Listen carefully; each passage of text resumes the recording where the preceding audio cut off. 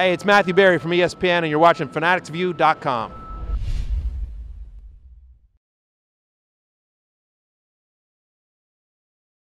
I would go Ezekiel Elliott. I have him at number three overall. I have Le'Veon Bell at one, just slightly ahead of David Johnson. It's no disrespect to David Johnson, who I think is an amazing football player.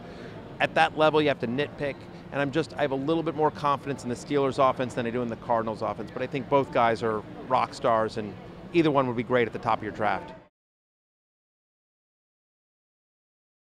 It certainly affects um, how you evaluate players, PPR versus standard, but uh, I don't have a preference. I like all forms of fantasy. I've played in two quarterback leagues, I've played in dynasty leagues, I've played in eight team leagues, I've played in 16 team leagues, PPR, half point PPR, like, love it all.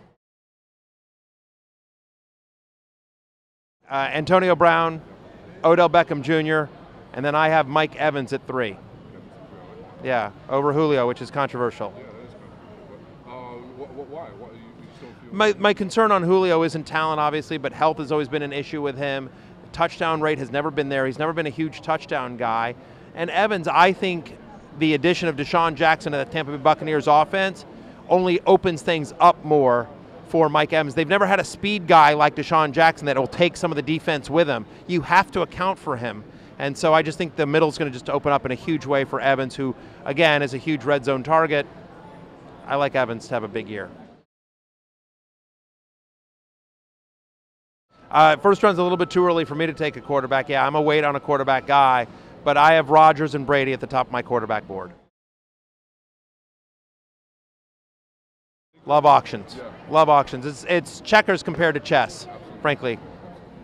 Uh, well, um, St- dra- drafting versus auction. Auction is is uh, the truer test of skill, in my opinion.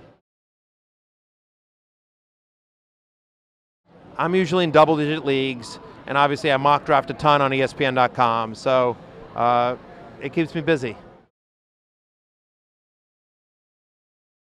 You know what? I've never played an IDP league. I'm not a huge IDP guy. Uh, it's a very small percentage of our audience at ESPN.com, so it's not something I focus on in terms of what they need me to do. Uh, but I'm a big believer in whatever rules you enjoy is what you should play.